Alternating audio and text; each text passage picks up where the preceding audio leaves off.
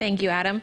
If you're looking for advice or guidance, a mentor can be someone you can turn to for that support. Now, one local organization needs your help making sure guidance is available to those who may need it most. KELOLAND Sarah McDonald explains how you can help out.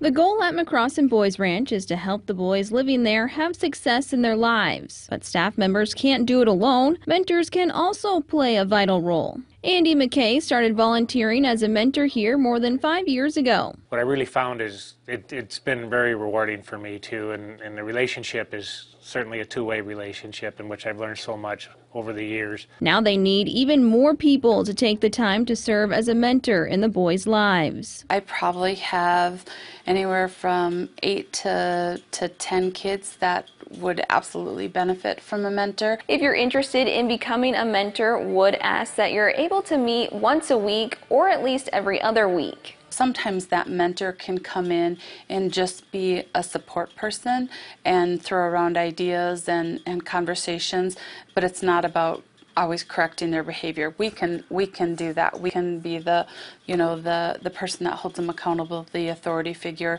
where a mentor can come in and be someone to have fun with and to be a kid. People like McKay say it will be worth your time. I'm not going to tell you it's not challenging because it, it can be very challenging, but at the same time, it's it's very rewarding, personally rewarding for me. And as I said, you know, I I I get so much out of the relationship. You know, I'm I, am i am going to guess as much out of the relationship as as maybe the mentee does. In Sioux Falls, Sarah McDonald, KELOLAND News.